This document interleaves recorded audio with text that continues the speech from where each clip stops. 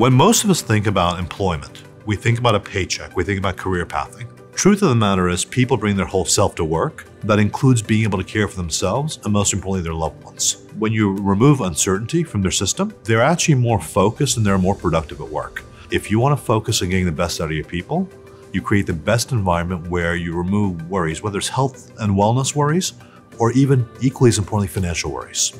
How do you think about career planning? Is retirement and claiming Social Security at a certain age, is that realistic? Or should you be thinking about retirement a different way? One easy way is thinking about choice architecture.